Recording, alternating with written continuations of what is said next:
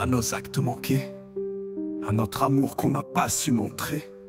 Cette vie nous a mis en danger, car la DAS nous a très tôt isolés. Pour nous conditionner, pour nous rendre faibles, pour mieux nous manipuler, on était vulnérables. Ils ont séparé notre famille par une justice inéquitable. Pouvez-vous entendre mes nerfs? La liberté a un prix à mon coût trop cher. Quant au prix de la misère, lui, il est gratuit. Loin de notre famille et de notre mère qui a fait son max pour nous protéger, cette maman en or n'avait aucune peur pour tout dénoncer. À peine 14 mois après être né, cette cicatrice fut profonde, une enfance perturbée, mon comportement était pire qu'une bombe. J'ai fait souffrir mes proches, inconsciemment, j'étais dans la pénombre.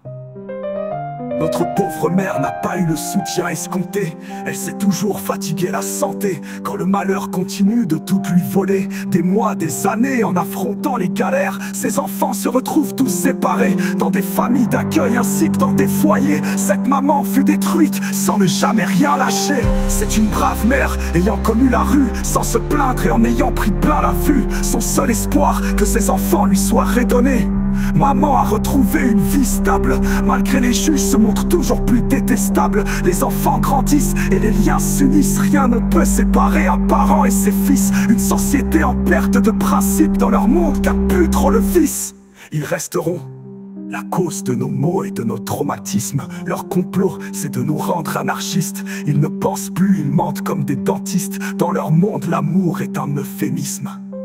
Ils plaident tous pour un nouvel eugénisme.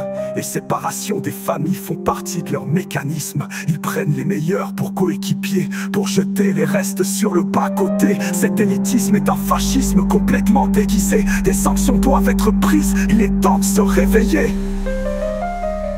À force de combattre, la fatigue s'installe. Elle se bat contre une routine sans se voiler la face. Certains proches nous rongent de l'intérieur pour éviter de découvrir la vraie face de leur cœur. Prisonnière d'un tourbillon de rancœur, difficile d'échapper à ces manipulateurs jusqu'à que le sang cesse d'alimenter le cœur. Il nous reste que nos larmes pour arroser nos pleurs. À notre plus belle flamme, à celle qui pendant neuf mois nous a portés. Tu es notre étoile, une grande guerrière et la plus belle des dames.